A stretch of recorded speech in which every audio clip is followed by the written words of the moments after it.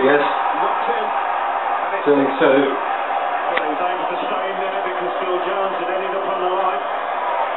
If only he would have been thinking I could have found the back of the net from 12 yards from that penalty. He's onside anyway, that person. Ashley Young on the far side was keeping him on. That's Made a wonderful dent in the goal difference from Manchester United.